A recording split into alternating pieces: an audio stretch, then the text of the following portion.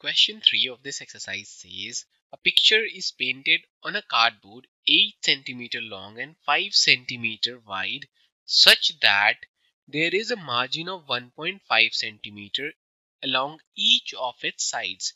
Find the total area of the margin. So the length and breadth of the cardboard is given in the question that is 8 cm and 5 cm and there is a margin of 1.5 cm so we can easily find the area of the margin that is the area of the bigger rectangle L1B1 minus LB that is the area of the smaller rectangle. So we know the dimension of the bigger rectangle that is 8 and 5. Let's find the dimension of the smaller rectangle. So the length of the smaller rectangle will be 8 minus 1.5 minus 1.5.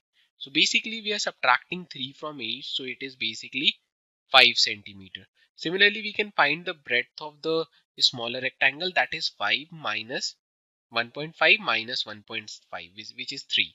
So basically it's 2 centimeter. So we know it is 8 into 5 minus 5 into 2 which is same as 40 minus 10 which is same as 30 square centimeter.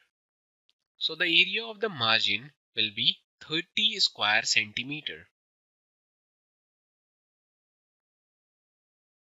To learn more about how Cuemath can help you crack school and board exams, explore Cuemath Leap, a live online classroom program run by highly experienced and committed teachers.